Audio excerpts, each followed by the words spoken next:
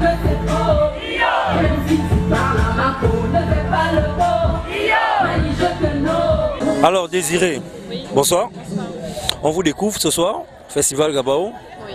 Comment, comment vous vous sentez Euh, fatigué, essoufflé. Là, là, là, essoufflé. Et si vous vous présentez un peu au public gabonais qui aimerait vous connaître un peu plus? Ben, je suis une jeune artiste gabonaise euh, qui évolue depuis un bon moment quand même. J'ai commencé de- en 2008. J'ai fait beaucoup de concours comme le Nescafé Revelation, euh, Tremplin et euh, d'autres, je pense. Je sais plus. Et aujourd'hui, vous travaillez en solo? Avec qui? J'ai toujours travaillé en solo.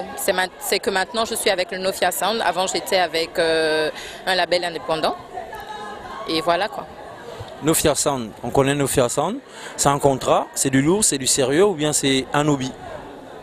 C'est du sérieux.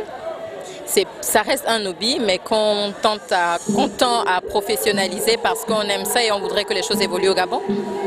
D'accord. Et aujourd'hui, réellement, par rapport au paysage euh, musical gabonais, vous pensez que vous avez votre place?